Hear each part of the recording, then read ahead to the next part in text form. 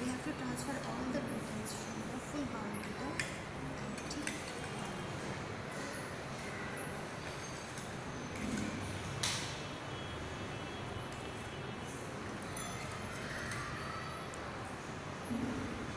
We have transfer all the contents from the right side of the bowl to the left side.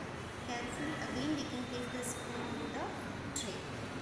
After transferring the contents, we have to see if there is any material that we had fallen down on the anything is there, with the thumb and